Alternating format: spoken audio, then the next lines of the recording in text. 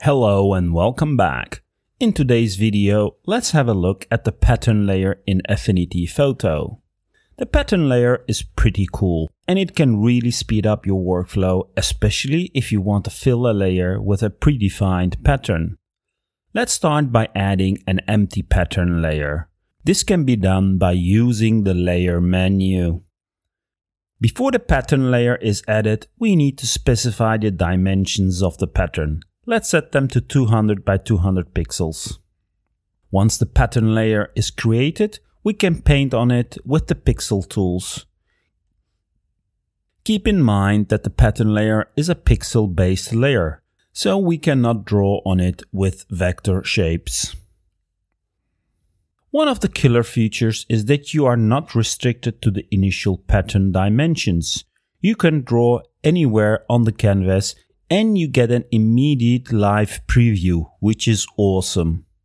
Okay, this is me being creative. I'm quite sure you can draw much better patterns than me. Once you're done painting your pattern, we come to the next cool part of pattern layers, the ability to transform it.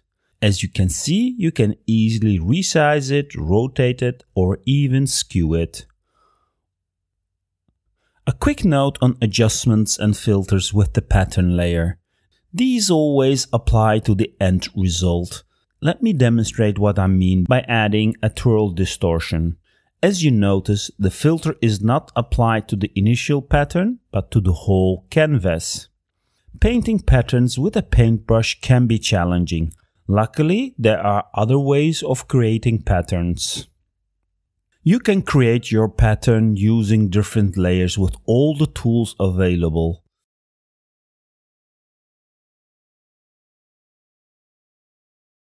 In this example, I'm using circles and as you see, I'm combining them until I have a nice pattern.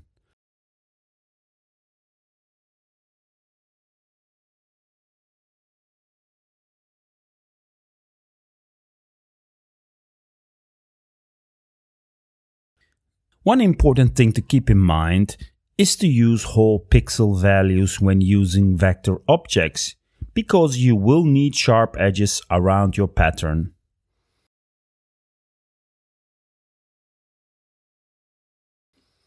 This looks good. I will make a copy of it and then rasterize the copy. As mentioned earlier, the pattern layer is a pixel layer and the source needs to be a pixel layer. Once we have our pixel layer, we can now use the new pattern layer from selection from the menu.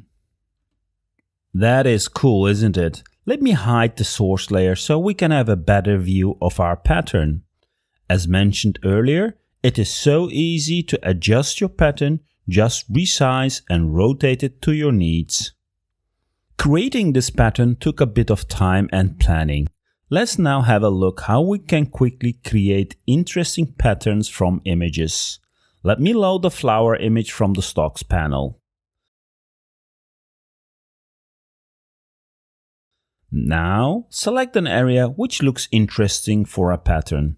I think this part could be interesting. If I now convert this selection to a pattern, this doesn't work. Remember what I said earlier. The source needs to be a pixel layer. So if we rasterize the image to a pixel layer, it will work now. Looks quite interesting.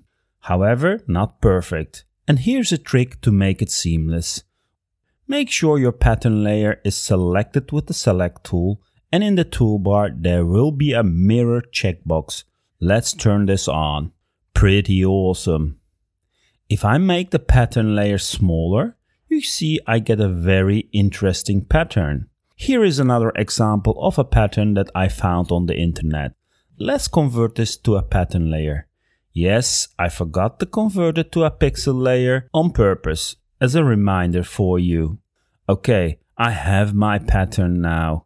If you look closely, this pattern image is not a perfect pattern. Look at this part. It's just hanging in there. A quick fix would be to use the mirror. However, in this case, this would not be a good fix. Let me make the pattern smaller and show you what I mean.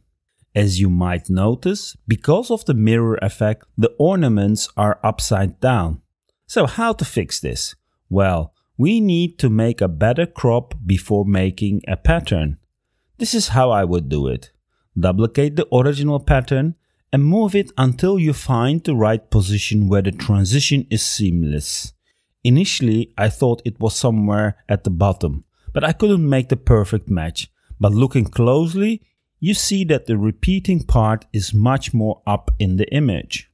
Now that I have found the right spot, I will need to crop the original or make a crop selection for the pattern layer. To see where the crop should be made, I will change the blend mode to exclusion. This allows me to see where the crop should be. With the select tool, I will make a selection. The selection doesn't have to be perfect right now.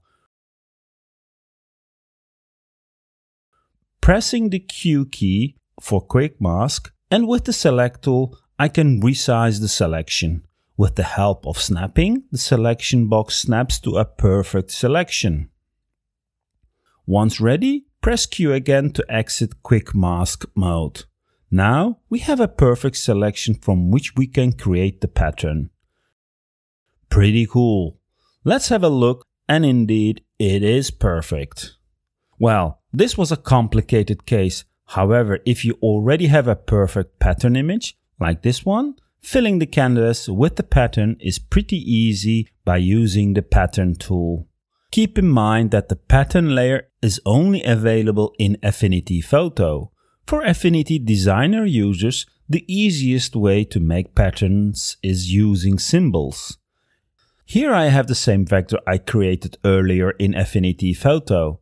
From the Symbols panel, I can use the Create Symbol button to convert it to a symbol. Let me park one symbol to the left. Now I will fill the canvas with duplicates of this symbol. Because we have everything set up as a symbol, I can change one of them and all the others will update automatically, giving you the same idea as the pattern layer in Affinity Photo. The only disadvantage is that you do not have the flexibility of easily resizing or rotating your pattern. But as an advantage, you do have vector objects. I hope you liked this video and thanks again for watching.